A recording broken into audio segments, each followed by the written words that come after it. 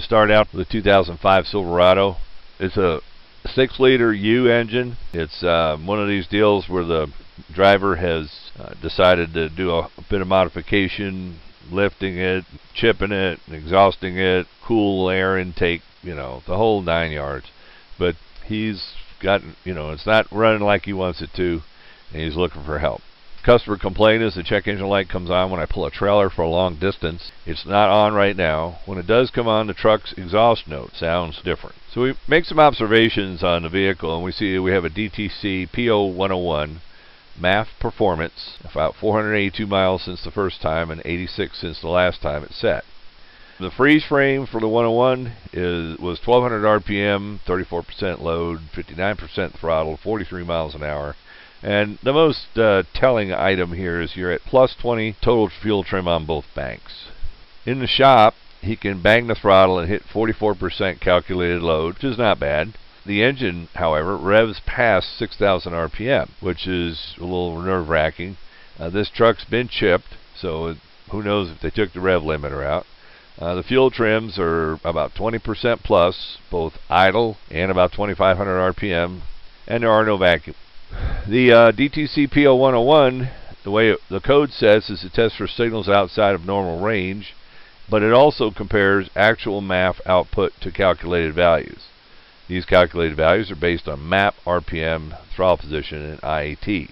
The point I wanted to make here is that because you're doing a cross check that can set the code, that now you have to be a little bit suspicious of the other sensors involved in the cross check, such as the MAP sensor. The throttle position sensor, or RPM, you know, we got to figure that's probably a pretty good number.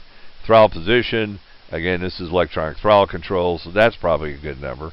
IAT, well, you know, maybe that uh, sensor didn't find a home uh, in the new cool air cleaner box thingy that the guy put on, so we might want to go find out where the IAT is hanging. Well, we've got a volumetric efficiency road test here. Good hard pull. We get uh, vehicle shifts at about 45 miles an hour there. Uh, the mass airflow sensor pumping out about 205 grams per second, and the APP's at 100% we did uh, he did several polls. What this is the best one.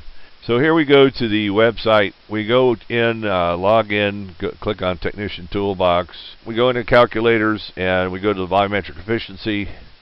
We put in our our data, and we come up with a volumetric efficiency on this vehicle of 68%. Well, when he goes a little visual inspection, uh, he wants to see if the map is dirty. The map is not dirty, but then he finds this critter in the hose that goes right to the ma mass airflow sensor. Device is disrupting the flow of air through the mass airflow sensor, which relies on a sample to collect data about the amount of air going through. So the device is removed and a second test drive is performed. This time around we get about 250 grams per second out of our mass airflow sensor. We get a bit more engine RPM when we get to the shift point. And at this point we got 89% VE that's looking pretty good. We can bring up the general rule here that engine liters times 40 equals grams per second at wide open throttle. So if we did the uh, calculation on this one, it would have been 6 times 40, 240. That's pretty close to what we got, and that should be considered the minimum for wide open throttle. So the technician says, let's take the device out.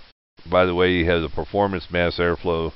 Recommends the guy put the stock type in reset the fuel trim. The guy goes for it, and after he's done, it runs well, no problem. So we remove the device, and everybody's happy.